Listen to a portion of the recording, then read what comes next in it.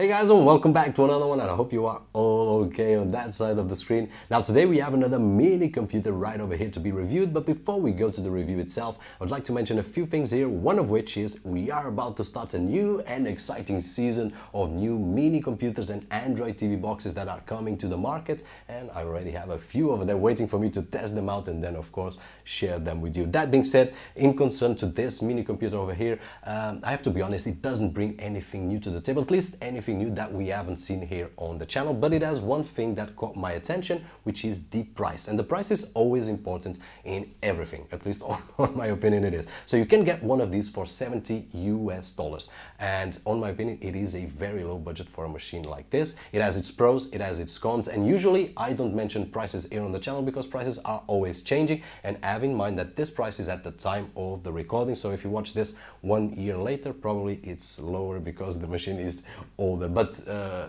just have that in mind. Another thing that I would like to mention before we begin this is that uh, if you visit the shop the Cozyswan shop, um, and I will leave the link down below, you will not fi find a button that says the buy button. Usually you find that on online shops, but on Cozyswan you don't have. So you will have to contact them and ask for a quote and you will get a price depending on how many machines you want. If you want one, you can expect $70, but if you want 100, then you can expect a lower price. And that is it. So guys, this is it. Let's go for the review. Hope that you guys enjoy it. And as always, I'll see you in a few seconds.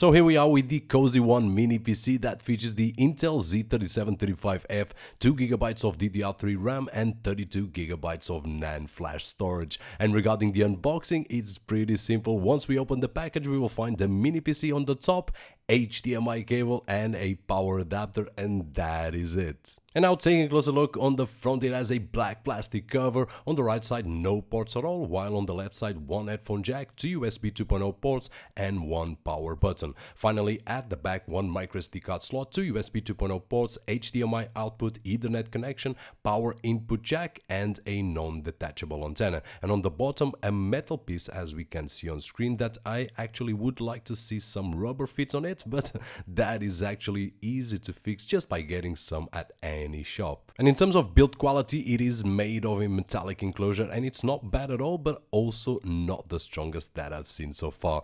But what concerns me more is the power button that feels weak and I'm not sure if it will handle any abuse from us. So I would suggest if you get one of these, just be gentle with it. The machine came with Windows 8.1, but after a couple of hours, I had Windows 10 on it and it's working just fine. And moving along to our benchmarks and starting with speed test through a power line adapter as usual, we are getting on Wi-Fi 51 megabits per second on download and 15 megabits per second of upload. While on the Ethernet connection, we are getting 95 megabits per second on download and 20 megabits per second of upload.